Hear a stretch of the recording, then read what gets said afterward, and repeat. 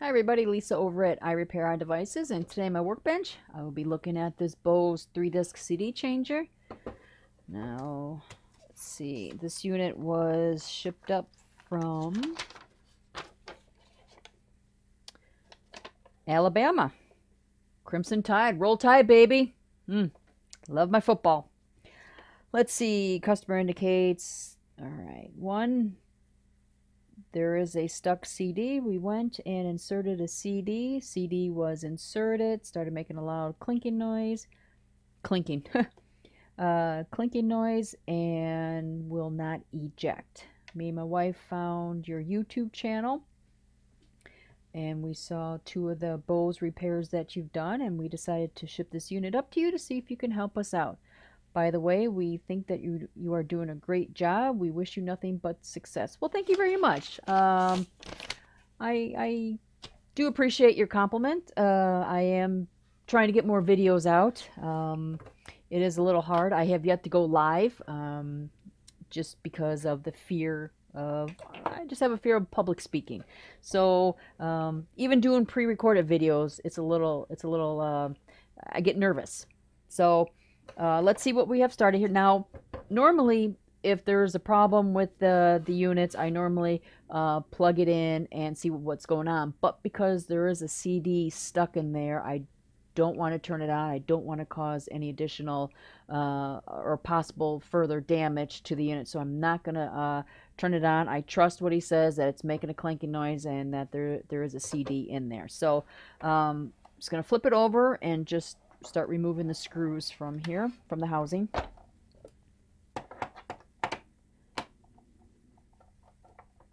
For those that do know me, when I, uh, a few seconds ago, when I said, uh, gave a shout out to Roll Tide, uh, people that do know me know that I do love my sports. I am a football and a hockey fan. Um, I like my college games, college football, pro football, and hockey.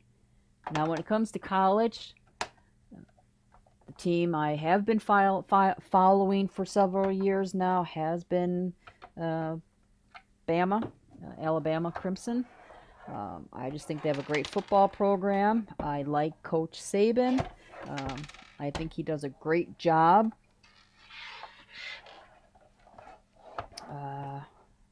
When it comes to pro, I got to stick to my hometown, Chicago Bears. Uh, we'll see what this season brings. Having a new coach, new young quarterback.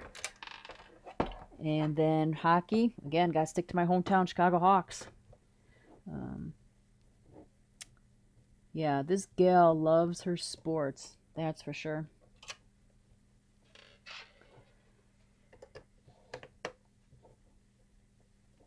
Alright, one last screw here and at least get the top taken off.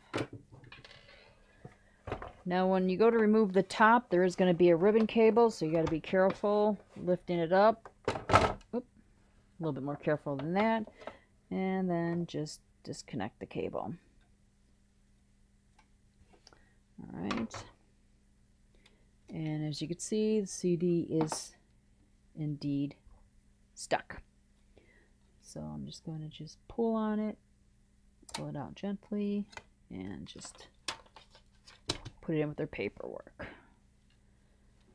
Alright, next up is I'm going to remove it from the housing. I want to take a look underneath um, the units. You got gears all over the place, so um, take a look at the gears. I want to take a look at the mechanism here that, that raises up and down. I want to check the arms that, that pull the CDs in and out. So there could be several things going on here causing um, the issue that the customer indicated. So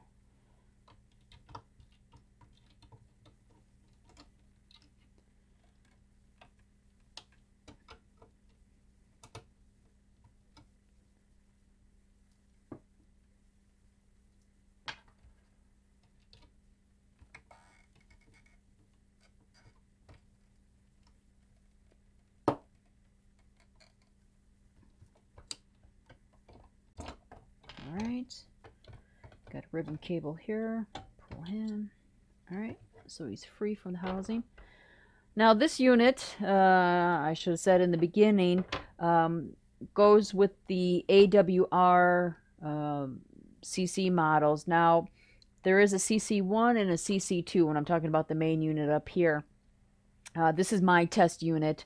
Um, difference between the one and the two is just the color. CC2 is the white, which is I have, which which I have, and then the CC1 is the black. Uh, the internals are the same, um, other than just the color. So this guy actually can still plug into here, and I still can test everything.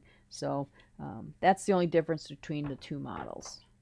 All right, so now here is the mechanism out of place, or out of the housing. So first, I'm going to check the this drive mechanism that raises and lowers when the CD is put into place. I want to make sure that it's being fed up and down the rails, that it's going smoothly. And what I'm talking about is this guy right here. So there's a brake on the bottom here. So when you go and, and uh, release the brake, engage the brake, actually freeze it up. So now I can manually roll the gears and have this guy go up and down. And what I'm looking for is making sure everything is straight when it hits the top. And then I'm going to go all the way down to the bottom. Making sure that it all, that, you know, what you're looking for is that these worm gears are all staying in alignment when it's going, when it's being fed up and down. And I'm not feeling any resistance. I feel good I don't feel any tension. I feel a good, um, smooth ride up and down these rails. So I'm going to say this guy looks good. Next up is I'm going to remove this bracket right here. I want to look at these arms, these armatures that that that pull the CD in and out. Uh, you got a couple of um, what do I want to say, rollers that run along these rails. So I'm going to take a look at that. And then also, I don't know how clear this will be. Uh, it's kind of dark. Um, right here, uh, I know it's dark. Oh, I can get some get some more lighting in here. Oh, you know what? Let's see here. There we go. I'll bring this guy over here see what I can do. It's not going to reach. Well, that's not going to work. Anyways, you have to trust me. These are, uh, let me take off the bracket. Get, you can get a better sense of what I'm talking about here. So I got, where did I leave off? Right, so get this screw here.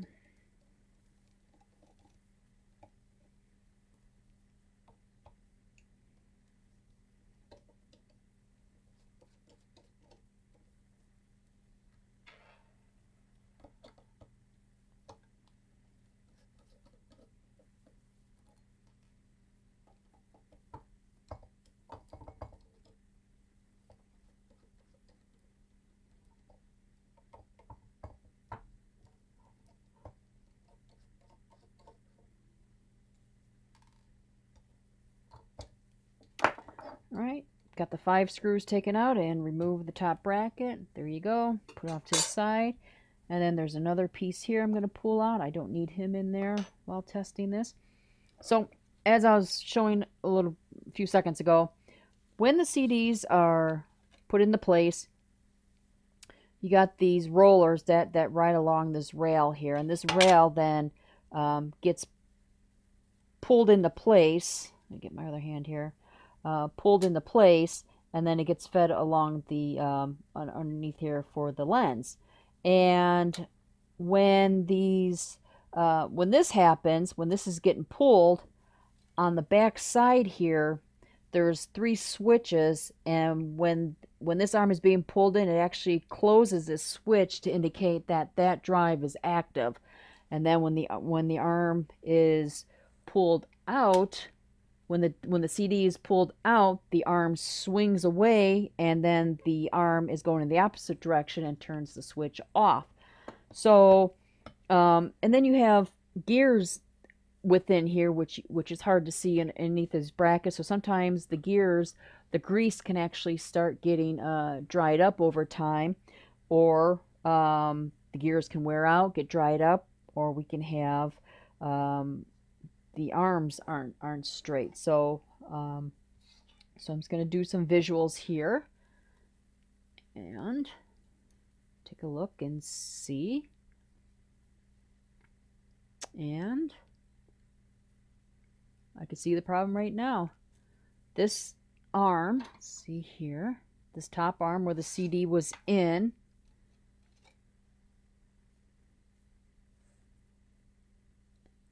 let's see, get better on camera here, he's bent. And what's happening is it's it's getting stuck and it's not going anywhere. So when this when this is trying to go up and down, he it's trying to grab the CD, but this arm is getting stuck, and that's what's making the the clinking noise and it's stuck and it doesn't know what to do it doesn't know to eject it doesn't know it doesn't know to go any further because it's like stuck in the middle so what i need to do is i need to get this guy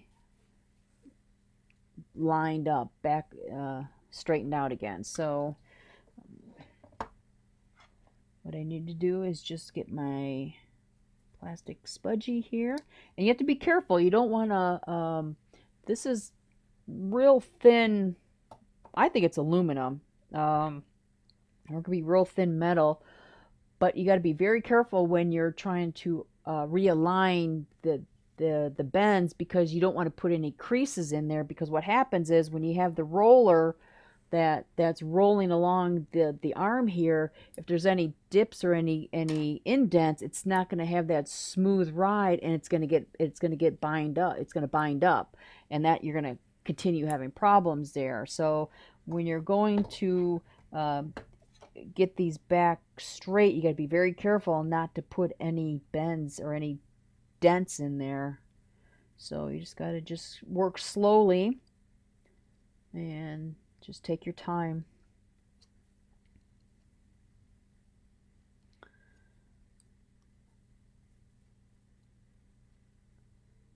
Yeah, so to go back to the sports thing, um, it's it's pretty cool. Uh, on my 20th, 21st birthday, my brother surprised me with uh, some Blackhawk tickets. First hockey game ever went to. And I remember him and my dad always listening to the games uh, back on the radio. And to this day, there's times I'll listen to the game on the radio because the announcers, uh, I, I don't know who they are, um, but I actually, when they are tell or you know um, relaying the game to you, you can feel you're there. And and when they do that, and I feel like I'm there, and I can visually see what's going on, you're doing a great job. You know, so anyways, my brother surprised me with some tickets, and um, I thought they were decent seats. We were just off to the side uh, from from the uh, behind the goal goalie, and we were sitting just right above the glass, which I was kind of like, "Oh crap, we're going to see some uh, hockey pucks up our way," and and only two came our way. Uh, scared the crap out of me, but still, it was, it was a great time. But uh, before the game got started, my brother just looked at me and says, "Be prepared." That's all he would say. I'm like, okay, dude, don't know what you're talking about, but okay. And uh, all of a sudden, lights go off. The cloud just the the crowd starts getting loud. All of a sudden, Wayne Messmer comes on and starts singing the national anthem. Holy crap! The place just rocked. I had goose. I'm having goosebumps now. The I had goosebumps. My body, the hair on my arms were standing up. The place just rocked. People were stomping, yelling, and cheering. I had no idea they did this. Had no idea they did this. And it was freaking awesome. If ah, it was just and to this date, he he since retired. So James, uh, I'm sorry, Jim Cor- uh, Cornelison uh, now does it and he has done several of the Chicago, not several, I should say, I should say a couple of the Chicago Bear uh, home games. And I'll tell you, even at at at um, at Soldiers Field, the place is rocking, and it is just crazy. And it's funny when I see other um, uh, arenas hold the national anthem. like, eh, it's too quiet. It's too quiet. I am so used to this and I love it. Even at the house here when I get the game on TV, I am just it just sends goosebumps to me. And if you could check it out, if you, if you could check out a Blackhawks game, you have to experience one uh, one in your life once in your lifetime. You have to, or just do a YouTube uh, search on on uh, um, Blackhawks. I don't know what you look up national anthem. It's just crazy. I love it. I love it. I love my sports. Um, so let's get back to this here. I don't. I don't want to get sidetracked. Sidetracked. So right now I'm just I'm just pressing uh, real carefully around uh, down the arm here, just trying to get alignment. And again, it's going to take a couple of times just to get it right. And what I'm going to do is just constantly um, feed a CD in, and once I know I have it right, it's not going to get stuck. So um, it's not just a, a simple bend and you're done.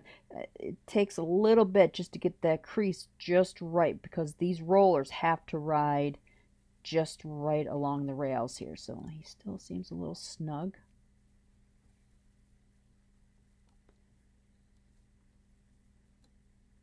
Yeah.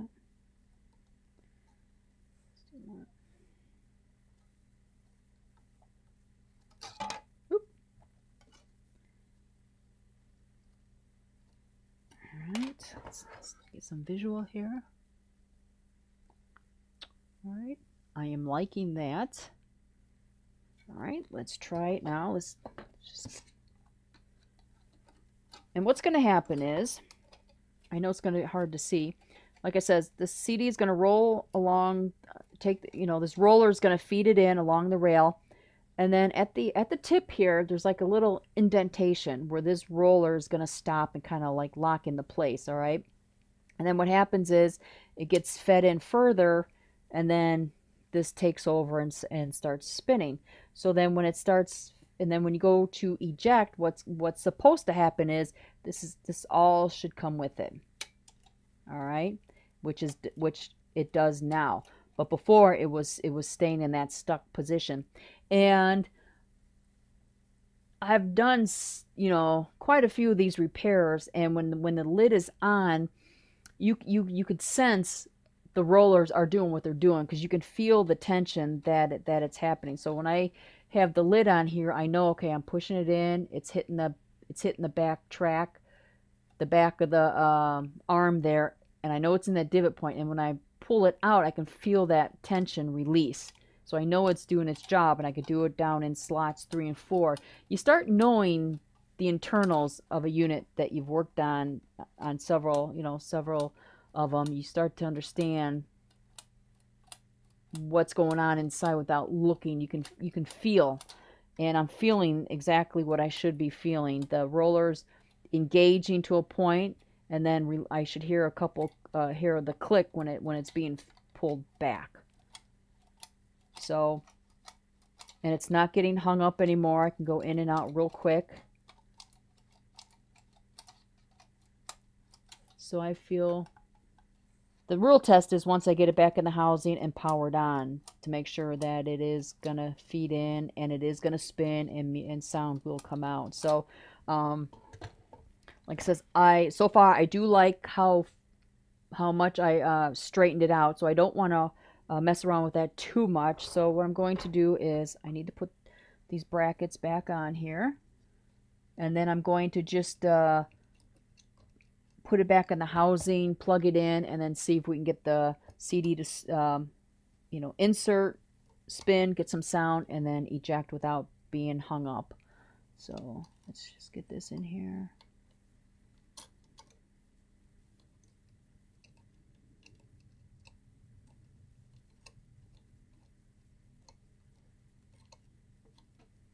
I've been getting, I've been getting several of these Bose uh, systems in here I actually had a package come today. Uh, I believe there's three in that box there. It's from Florida. Uh, one came in the other day from Missouri. So um, if I can get these fixed and back to the customer, I feel like I saved, you know, saved them from going to the landfill. So I feel pretty good if I can get something back, bring it back to life. So All right, let's get the bracket back on here. Now I do want to get these screws back into place because these kind of hold down the arms and and whatnot. So I do want to make sure I get these back and get them nice and snug.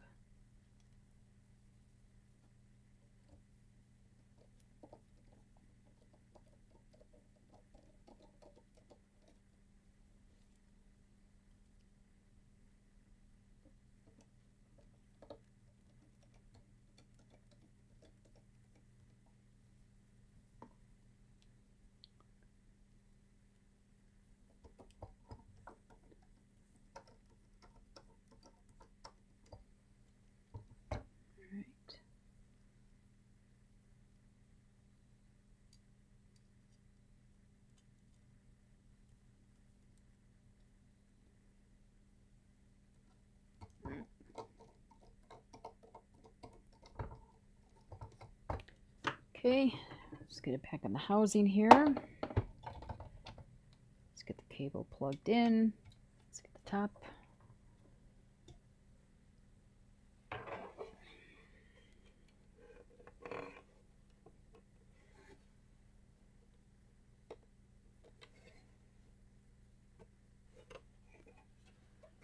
All right.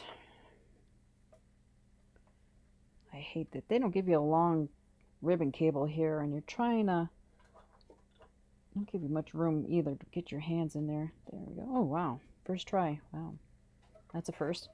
All right, lid is on. I'm not going to put any of the screws in just in case I have to do any additional tweaking, but at least it's enough for me to get this guy powered on. So set this unit, the main unit up here. Plug in the two adapters on the cords back here. Let's get the power fed to it. Now, once I get it plugged in, it's going to automatically um, initialize the drives here. So we're going to see, you're going to hear a bunch of uh, noise. And what's happening is the um, the drive mechanism is, is going up and down to, to, to uh, initialize each of the drives. And then uh, once it's done, lights will go off and it'll be ready for me to uh, test the CD. So,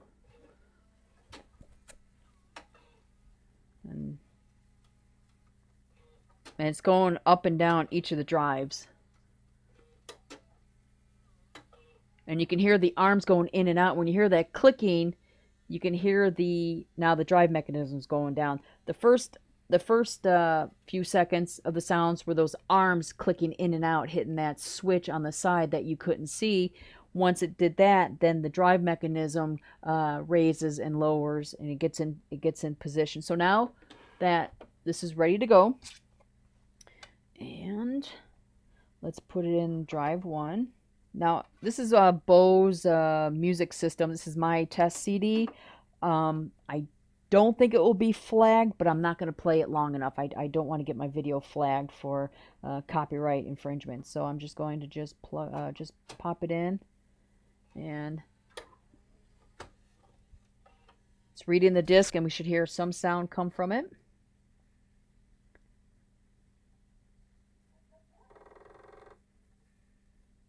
Okay. Let's see.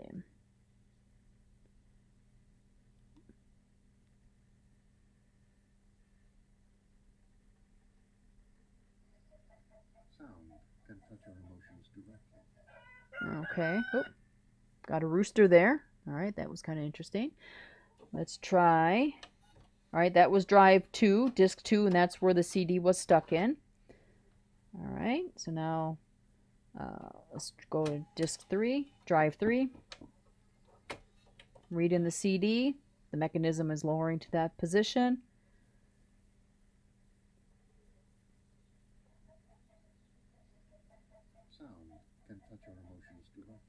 All right.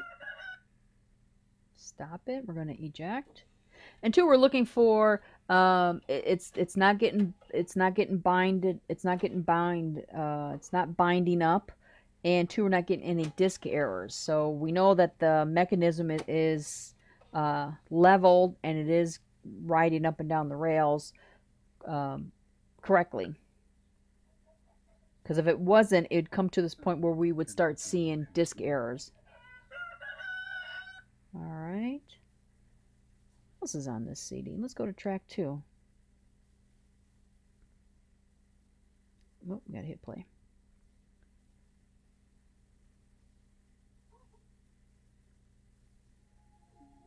No. Okay. That works. And let's go back to drive two.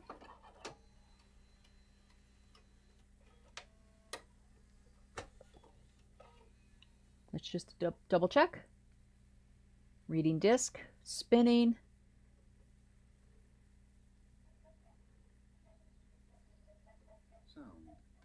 All right, let's go to let's go to what's on track three. Hmm.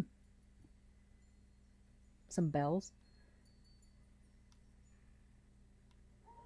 All right, so looks like um, just a recap, the problem with this was that drive 2, disk 2, whatever you want to call it, the uh, armature that, that feeds in the CD was was bent. And what was happening was when the CD was fed in, the, the roller got stuck almost at the end of that roller and, and it didn't know what to do. It, it didn't know to go any further and it couldn't get itself out. And that was causing that the clinking noise because it was saying you know because the, the, CD is trying to play at the same time. It's trying to grab it but it but it quite it couldn't quite get to it. So um and it's just doing the visual of it you can clearly see that it was slightly bent in an upward position. So what I did was I just straightened it out uh, making sure I didn't put any additional uh, dents or creases in that material because that roller has to ride smoothly to and from the front and back without any types of dip, dips in, in, in along the way. Um, what I'm going to go uh, up through next is, uh, and I don't need to do this on videos. I'm just going to uh, check all the gears just to make sure, get them, uh, you know, apply any grease if need be. I will blow it out, clean out any dust. It looked, it looked pretty clean in there. Um, but yeah, uh, this was a successful repair. I, I hope you learned something. I, I don't know if you will or not, or did or not, but I, I do hope. Uh, please like, share, subscribe to my channel, and until next time, have a good one. Take care.